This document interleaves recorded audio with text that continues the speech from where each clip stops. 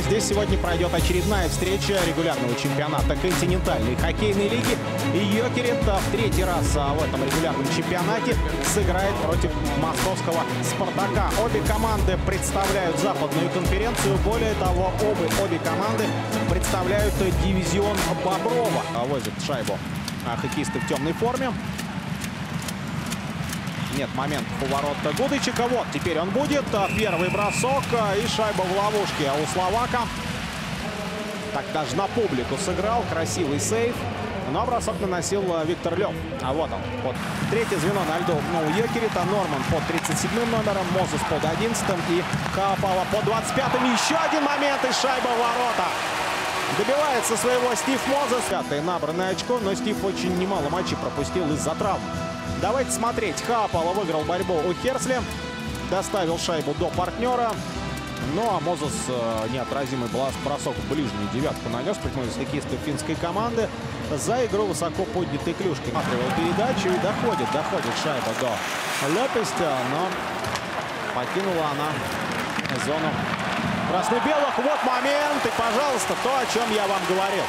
Кистевой бросок Лехтанина достигает цели. Ну а в этом случае а в ту, где лодочка находится блин. Очень широко расположились э, два защитника «Спартака». Хесли проиграл позицию, прямо скажем. А Яньков тут не сумел подстраховать своего партнера. В зоне 15 место по этому показателю у команды Олега Знарка.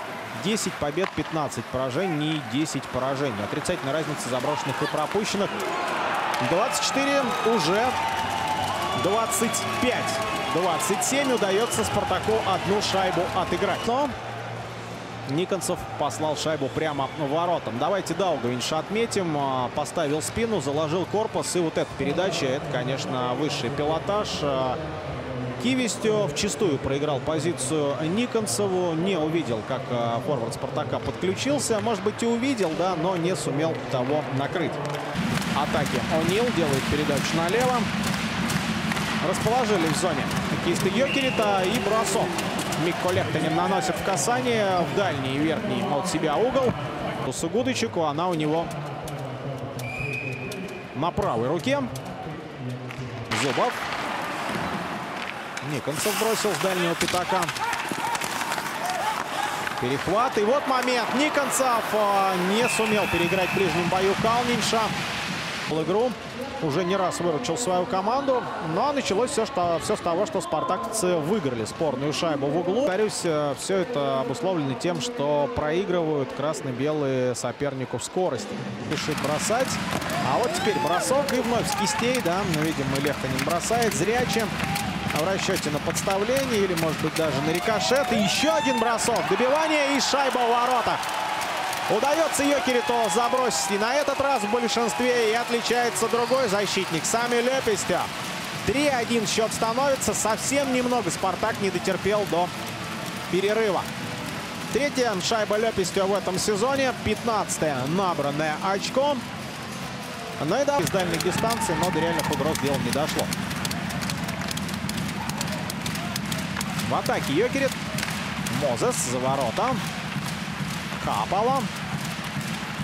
Накручивает улитки. Какая передача! И супер момент у Лехтанина. Добивание и выручает свою команду дважды Гудычек.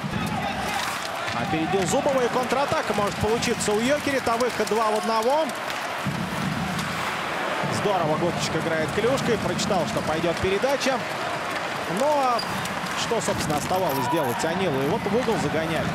А вот Йенс на пятаке был один. Атака Спартака. Передача на дальнюю. И 3-2 счет становится. Не удалось забить в большинстве, зато удалось сделать это в равных составах. Ну и давайте смотреть. Здесь Зубов, конечно, много сделал. И Кулик постарался. Да. Кулик-то вообще бросал с неудобной руки, но пробить Калнинши не получилось. И Йокерит э, по-прежнему остается на четвертой строчке а, западной конференции. Точнее, на пятой строчке в западной конференции.